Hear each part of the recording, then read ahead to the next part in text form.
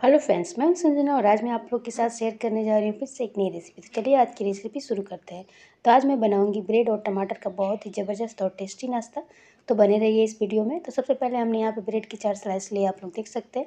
सबसे पहले हम क्या करेंगे कि टमाटर का ऊपर वाला जो भाग है ना, इसको काट करके अलग कर लेंगे।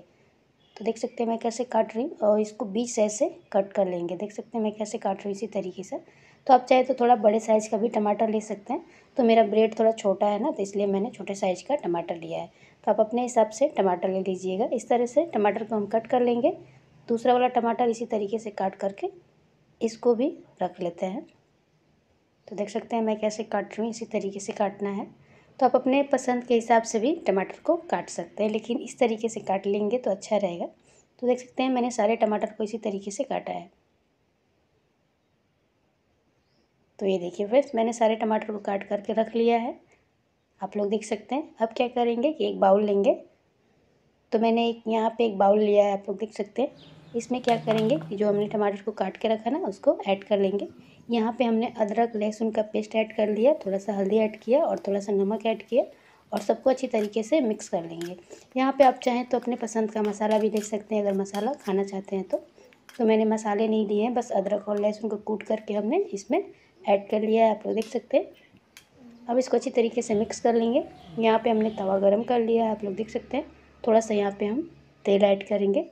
तवा पे तवा हमारा गर्म हो गया है तो हमने यहाँ पे तेल ऐड कर दिया है। जो टमाटर को हमने काट के रखा था ना, उसको तवे पे ऐसे ऐड कर लेंगे और इसको फ्राई कर लेंगे। तो देख सकते हैं, मैंने यहाँ पे टमाटर को फ्राई कर लिया है। कुछ देर इसको कुक होने देते हैं। बीच बीच में इसको पलटते पलट भी रहेंगे ताकि टमाटर जो है अच्छे से थोड़ा सॉफ्ट हो जाए। इसे ज़्यादा नहीं पकाना है, बस सॉफ्ट करना है। जो टमाटर है, थोड़ा सॉफ्ट हो जाए। देख सकते हैं, जो टमाटर है, थोड़ा बहुत सॉफ्ट हो गया है। कुछ देर और इसको ऐसे ही छोड़ देते हैं। तो ये देखिए फिर हमारा जो टमाटर अच्छे से सॉफ्ट हो गया है तो चलिए इसको एक बर्तन में निकाल कर रख लेते हैं। अब क्या करेंगे कि उसी तवे पे फिर से थोड़ा सा बटर ऐड करेंगे। अगर बटर आप लोग के पास ना हो तो ऑयल भी ऐड कर सकते हैं। यहाँ पे हमने ब्रेड की चार स्लाइस लिया है। अब इसको क्या करेंगे कि दोनों साइड से सेक लेंगे अलट पलट के। तो मैंने यहाँ पे ब्रेड को सेक लिया है। अब दूसरा वाला ब्रेड भी उठा करके सेक लेते हैं।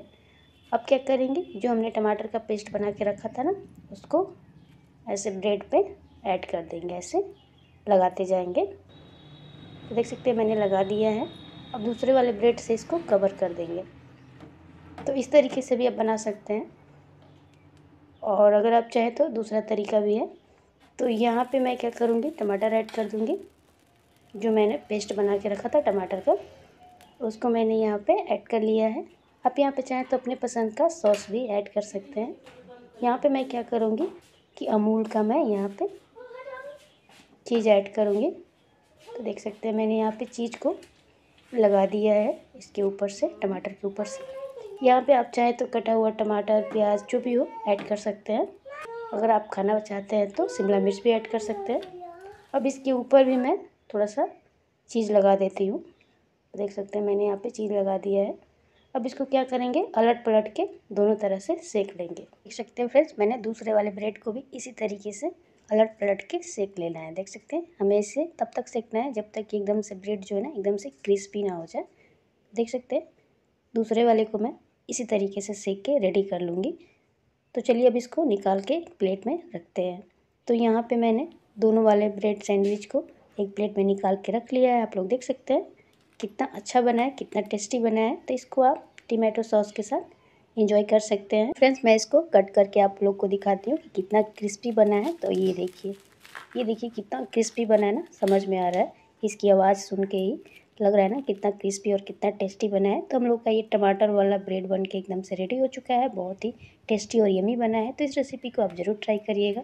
और अगर रेसिपी पसंद आए तो फ्रेंड्स लाइक और शेयर ज़रूर कर दीजिएगा। और चैनल पर पहली बार आए तो प्लीज़ मेरे चैनल को सब्सक्राइब कर लीजिएगा। ताकि मेरी अगली वीडियो की नोटिफिकेशन आपको सबसे पहले मिले। तो देख सकते हैं मैंने इसको कितना जल्दी बनाया। ज़्यादा टाइम भी नहीं लगा, ज़्यादा टेस्टी लगते हैं। बहुत ही सिंपल रेसिपी है, इसको कोई भी बना लेगा। तो एक बार ज़रूर ट्राई करिएगा और अपना अनुभव हमें शेयर करिएगा।